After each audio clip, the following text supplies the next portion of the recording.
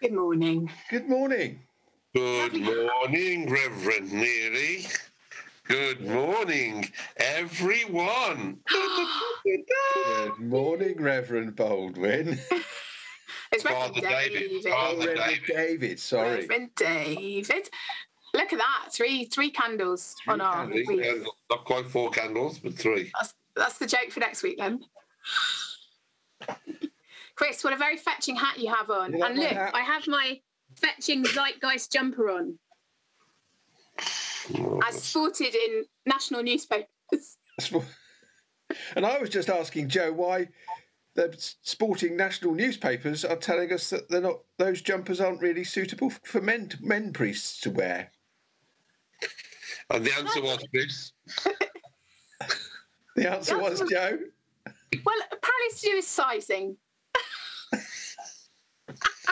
Well, I just think it's just because they're sized. Well, I don't know if they are sized for women. I mean, I'm sure a man could fit in my one. If he was small. No, I don't think he would need to be that small, to be honest. Oh, no, no, no, they are quite short, though. I think I oh. think the length would be problematic for a man. no, a short fat man. Could, a short fat man could fit into it then. Short fat man be fine. End of That- tears. That, that's rules me At. Christmas, this conversation has very rapidly deteriorated. Well, I, I am not going to be wearing it at the time that the short fat man wears it. It's a shared, not a shared jumper. You understand? There we are. No. Moving on. Well, there we are. There we are. As ever, exciting news of dear viewer that the Marks and Spencer jumper is ridiculously, no doubt, overpriced, over exaggerated, and doesn't fit fat men at all. so you won't see me in it purely because I'm tall. Because of course, my body is a temple to uh, to health and well-being. Apparently, the male one has ding dong on it. I'm not even. I'm not even going there. I am going nowhere near that. Oh, Oh, you Thank you very much. a I'll, I'll stick. To, I'll stick to the traditional Father Christmas smiling or the the reindeer pulling a sled type of approach. I don't go for the elf. The elf bit gets some. No, I don't understand the elf at all. It's nonsense. Really. I've got a I carrot the on my Christmas sucker. jumper. Maybe I'll wear that one next week. Oh, You got a yes. Well, we, all wear, we can all wear our Christmas jumpers next week. Yeah. Yeah, we could do. Sounds less than enthusiastic. Shall we have a pause then?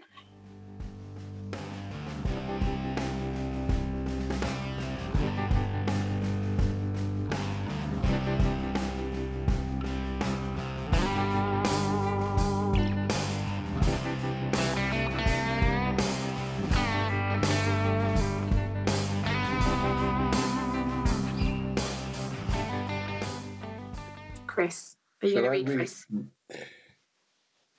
Luke chapter 3, verse 7. John said to the crowds that came out to be baptized by him, You brood of vipers, who warned you to flee from the wrath to come? Bear fruits worthy of repentance. Do not begin to say to yourselves, We have Abraham as our ancestor. For I tell you, God is able from these stones to raise up children to Abraham. Even now the axe is lying at the root of the trees. Every tree, therefore, that does not bear good fruit is cut down and thrown into the fire. And the crowds asked him, What then should we do? In reply, he said to them, Whoever has two coats must share with anyone who has none, and whoever has food must do likewise. Even tax collectors came to be baptized, and they asked him, Teacher, what should we do? He said to them, Collect no more than the amount prescribed for you. Soldiers also asked him, And what should we do? He said to them, Do not extort money from anyone by threats or false accusation, and be satisfied with your wages. As the people were filled with expectation, and all were questioning in their hearts concerning John whether he might be the Messiah, John answered all of them by saying, I baptize you with water. Sorry, I baptize you with water, but one who is more powerful than I is coming. I am not worthy to untie the thongs of his sandals. He will baptize you with the Holy Spirit and fire. His winnowing fork is in his hand to clear his threshing floor and to gather the wheat in his granary. But the chaff he will burn with unquenchable fire. And so, with many other exhortations, he proclaimed the good news to the people.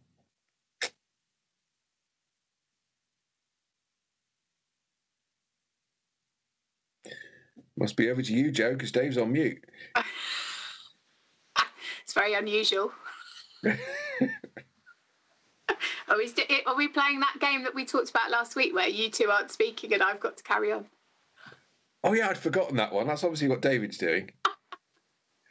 I was, I was listening to you reading that very interesting passage, Chris. I thought it was very good. I like the I like all the all, all of that. I mean, John the Baptist preparing the way. What should Yeah, we it's do? not my, that's not my writing, David. That's straight out the Bible. I thought, sorry, I thought you'd written that uh, that uh, that particular passage, Chris. Um, it, it's a very, it's a very good passage. Uh, again, last Sunday I asked people in, in church what they were doing to prepare the way of the Lord as we're in Advent. We had some very good discussions in Beaminster. They enjoyed that approach, which Joe introduced a few months ago, of uh, getting them involved in the sermon. They think it's a cop out that we don't do as much work, but of course we do just as much work and preparation. It was interesting to see what their um, what their things were. but prepare the way of the Lord and baptism with water only. No Holy Spirit. No, it's coming. I, I just think that bit where he um they all come forward and say, Well, what should we do? And he says, Give them a coat if you've got a spare coat. And the tax collector said, Well, what should we do? And he says, We've got to act with integrity. And the soldiers say, Well, what should we do? And say, Yeah, you've got to act with integrity too. And I just think if you listed all the people in the congregation, be interesting, you could say, uh, and we, the retired people, what should we do? And we, the teachers, what should we do? And uh, those of us who are care workers, what should we do? And then you could widen it out to wider. Uh, and we, the politicians, what should we do? and we, the journalists, what should we do? It'd be really see- interesting to hear I the can- answers, I wouldn't can it? see your sermon be prepared already for Sunday. It'll be interesting. I think I'll copy it. Well, it's just interesting, is it? Because it's just such practical. Because John the Baptist is being really practical, isn't he? He's saying you can't you can't rely on just being part of the covenant. So just because you're children of Abraham, that's not good enough. No. You've got to repent, Mm. and that repentance is lives out in your life. And and I love the way there's this really practical interaction about. So what then do we need to do? And I just think. hmm, it's a real challenge for us, isn't it? You know, actually, which bit of our lives needs a bit of attention and a bit of So you, you in your in your list of people and professions in church, you missed out that one.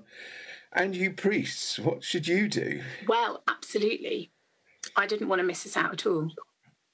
So I was thinking that, and actually, what should we do?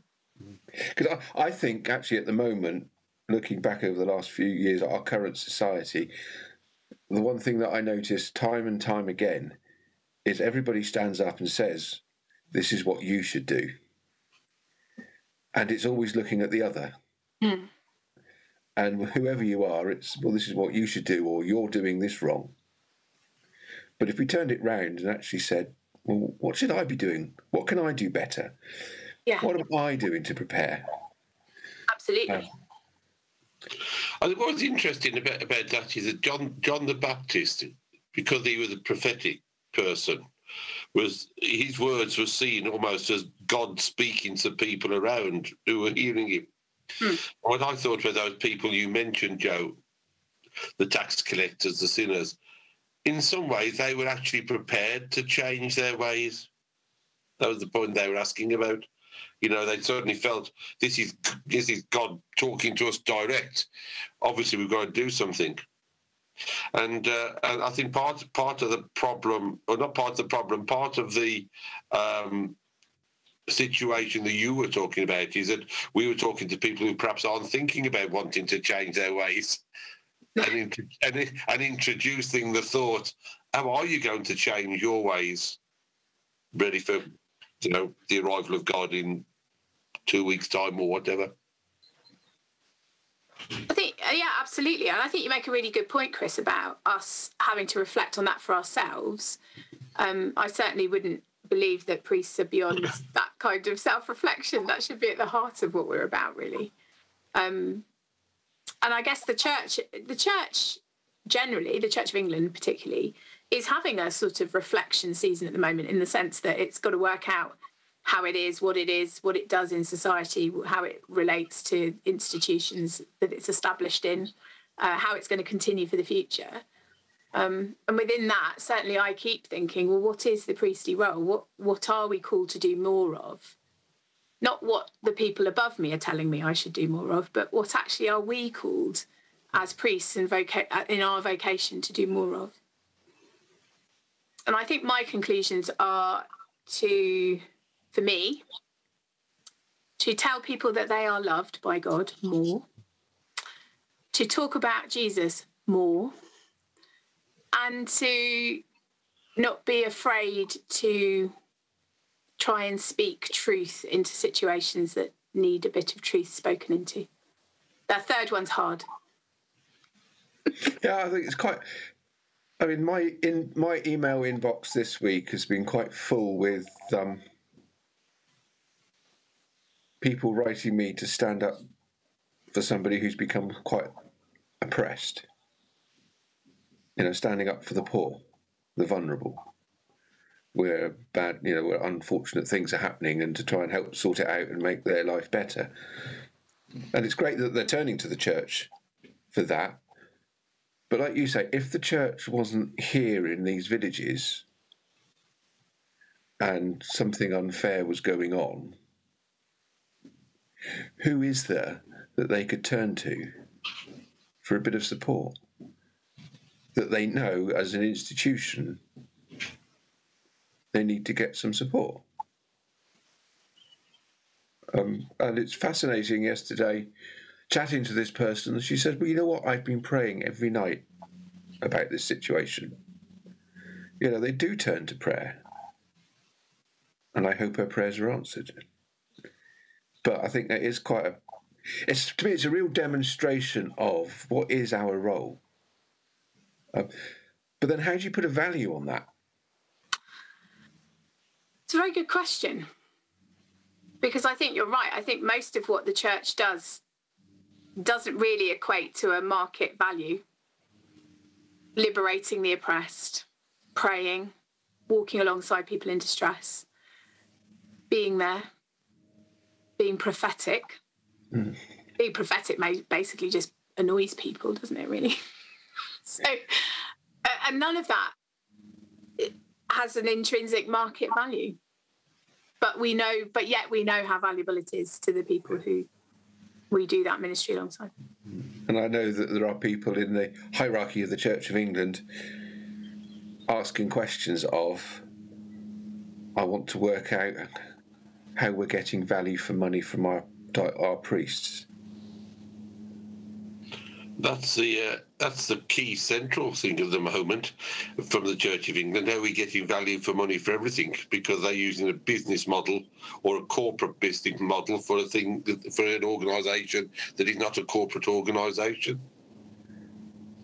Yeah, I think I think charities will give us some clues about that. We, we went to visit a, a, community project in Bristol a couple of weeks ago, and that's really stuck with me because a lot of the work that they were doing was very similar to the work that we would love to do or do do, which was walking alongside people, um, enabling, empowering people, helping them. Um, become volunteers, helping them improve their chances of getting back into work, building community, building resilience, helping mental health, um, enabling children to flourish in education who might struggle to access education, things like that.